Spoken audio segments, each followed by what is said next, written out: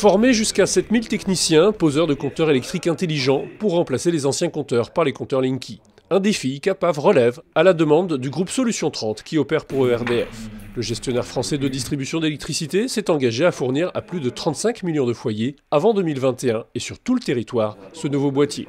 Un boîtier communicant qui permettra aux consommateurs de mesurer avec précision et quand ils le souhaitent sa consommation. APAV, grâce à sa présence sur toute la France, offre à son client une solution idéale. On a 170 centres de formation sur tout le territoire et donc forcément on peut faire des formations à côté de chez nos clients ce qui évite les déplacements. Euh, pour Solution 30, on avait euh, une problématique de, personnes qui venaient de chez Pôle emploi et donc des gens qui n'ont pas forcément des, facilités de déplacement. Donc c'était notre force, vraiment la proximité euh, client. Aujourd'hui, on a cinq centres de formation qui sont agréés, à savoir Paris, Strasbourg, Pau, Grenoble et Lille. Donc dans un futur proche, nous allons certainement étendre nos centres agréés en fonction des, besoins de nos clients. Le centre de Rennes et de Nantes viennent également d'être agréés. APAV a mis en place une formation nationale, comme ici à Lille.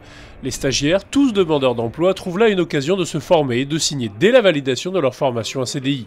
En partenariat avec les OPCA et Pôle emploi, Solution 30 et APAV permettent ainsi à ces jeunes de revenir sur le marché de l'emploi. On a essentiellement travaillé sur le fait de, de recruter des demandeurs d'emploi. Donc on a euh, travaillé en tripartite avec euh, Pôle emploi, avec les OPCA qui bien évidemment y sont rattachés, et euh, également avec les centres de formation. APAV a fait l'acquisition d'un matériel dernier cri, EPI, mais aussi des mallettes complètes d'électriciens. Les centres de formation disposent également de maquettes pédagogiques, de compteurs électromécaniques, électriques et d'équipements professionnels identiques à ceux disposés sur le terrain. Les formations sont très ciblées. Si le futur employé n'a aucune connaissance en électricité, il va commencer par une remise à niveau technique électrique de 8 jours. Puis, s'ils ont déjà les bases électriques, ou alors ils ont suivi ce premier stage, ils peuvent suivre un parcours de 9 jours et ensuite, pour une particularité, 4 jours de travaux sous tension. La formation mixte théorie et pratique, les nouvelles normes font l'objet d'un apprentissage abouti. Les stagiaires se disent motivés et conscients des risques électriques. On ne peut pas arriver et puis faire ce qu'on veut parce que c'est dangereux, on a des risques de brûlure, d'incendie, donc c'est un peu euh, quand même, et puis même des risques au voisinage. Donc euh, bon, c'est normal de suivre la formation, je pense. On a la chance d'avoir un très bon formateur, très pédagogue, respectueux et il nous explique des choses hors formation qu'il a rencontrées de par son expérience. Parce que ça, on a la chance aussi d'avoir un ancien professionnel et ça, c'est pas toujours le cas. J'ai fait une demande d'embauche à Pôle emploi euh, pour l'entreprise.